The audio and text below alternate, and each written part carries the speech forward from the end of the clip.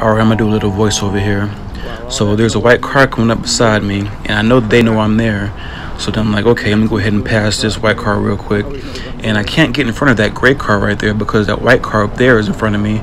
So I'm waiting for my opportunity. And then once I see that little opening, I go to go pass. And right when I go to go pass, it starts to merge over right there in front of me. So I hit the brakes. And then right when I hit the brakes, I honk my horn. And uh, then the rest is history.